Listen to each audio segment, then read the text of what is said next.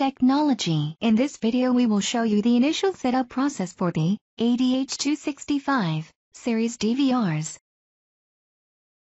At the wizard window first select your language and locality then click Next. Now select your time zone from the drop-down and your preferred date and time format from the drop-down menus. If your location does not have daylight savings change DST to off.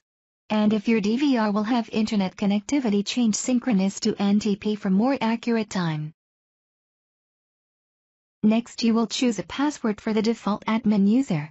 If you do not want to change the password simply press next and the password will remain as 123456. Tick the box display the password to see the password you are entering and tick the box for login automatically if you do not want to enter the password every time you make changes on your system settings. If you tick the pattern lock box, you are allowed to use a pattern instead of a password to log into the system.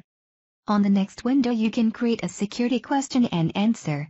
If you change the default password, we suggest you add a security question so that you can reset your password in case it is forgotten. Now we will format the hard drive.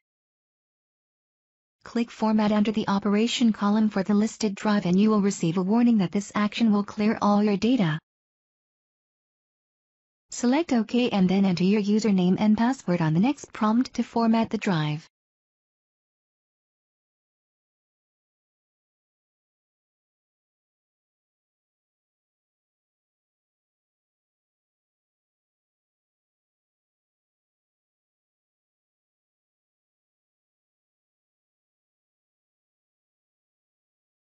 If formatted successfully you should see a green check mark under the status column.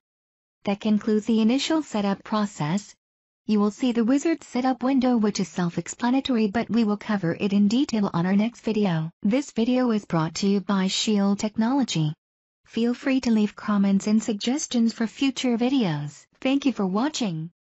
Please subscribe to our channel and visit shieldcctv.com for updated information on Shield Technology products.